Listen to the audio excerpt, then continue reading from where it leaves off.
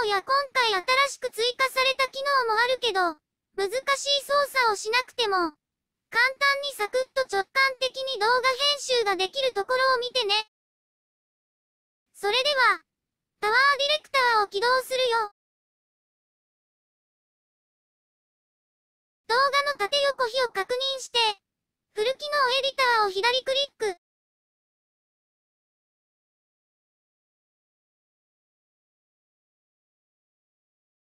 デフォルトで登録されている動画や写真は不要なので、すべてを選択して、右クリックで表示されるメニューでライブラリーから削除を左クリック。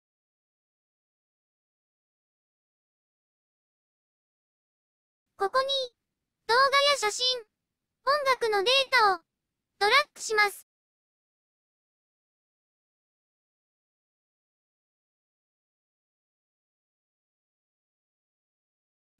編集で使う写真や動画を下のタイムラインと呼ばれるところへドラッグして配置します。最初は写真をドラッグしてみるね。タイムラインの幅の調整は、上部を左右にドラッグすると広げたり狭めたりできるからね。次に動画をドラッグして配置するよ。タイムラインで編集したい動画を選択されている状態、レビュー画面の下にある三角をスライドさせて動画を分割したい位置を見つけてね。分割するにはタイムラインの左上にあるタイムラインの分割アイコンを左クリックすると、動画が分割されるよ。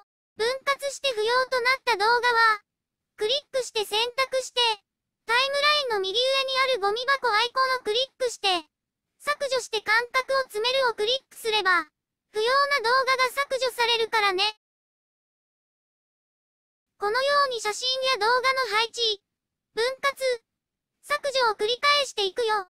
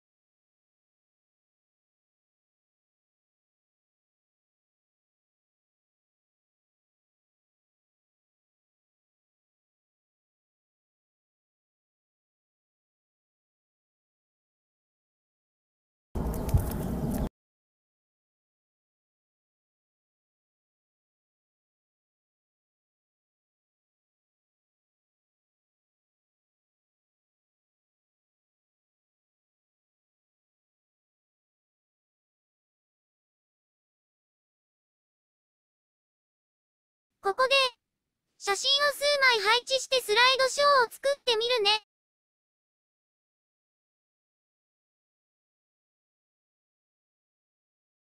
スライドショーにしたい写真をまとめて選択して、タイムライン上部中央のスライドショーをクリック。スライドショーのスタイルを選択して右下の次へをクリック。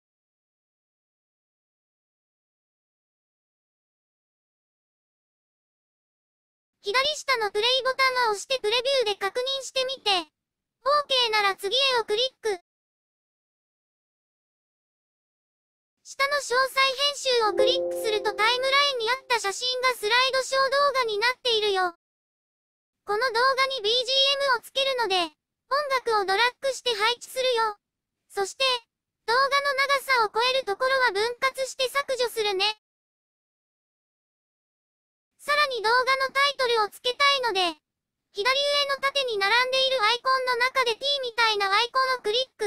上の真ん中に四角の右下にプラスのついているアイコンをクリックだよ。2D タイトルをクリックして、このようにタイトルを入力して、文字の色やフォントを設定するよ。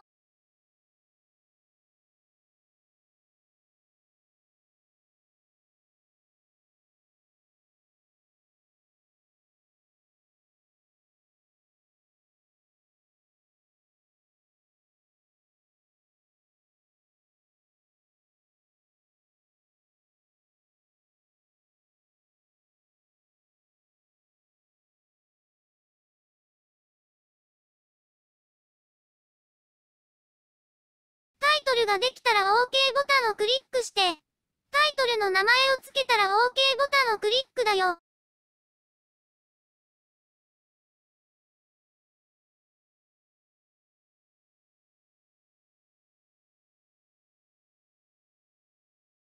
出来上がったタイトルをドラッグしてタイムラインに配置するよ。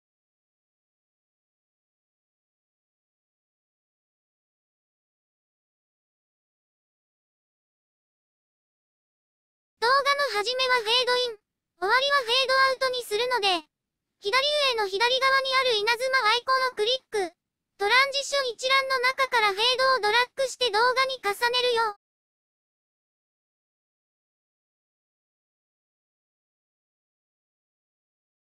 BGM もフェードアウトさせるので、トランジション一覧の下の音声をクリック、コンスタントパワーをドラッグして BGM の最後に重ねるよ。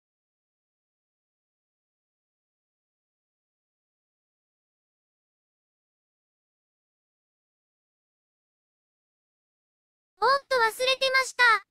タイトルもフェードインさせるので同様にフェードのトランジションを重ねるね。写真をタイムラインに配置しただけだと左右が黒くなるので写真のサイズを変更します。写真を選択してプレビュー画面でドラッグでサイズ変更や位置変更ができるからね。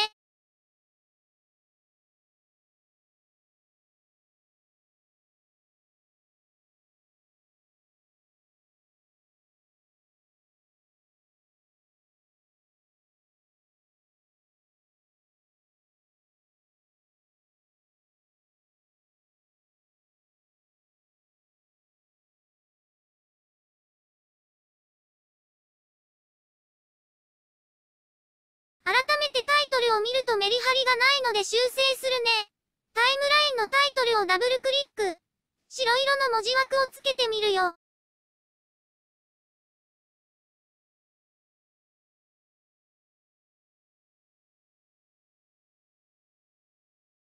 いろいろあったけどこれで完成。全体を通して編集した動画を確認してみよう。Thank you.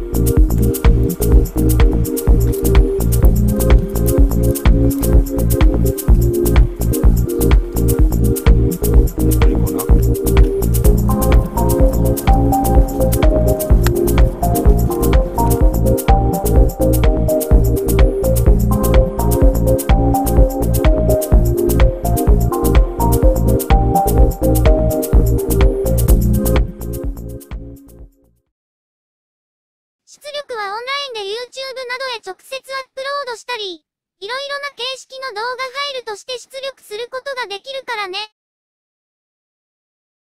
タワーディレクターでの動画編集はどうだった？動画編集がサクサクと簡単にできたでしょ？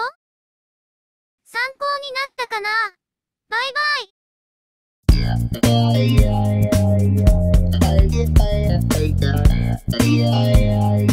イ。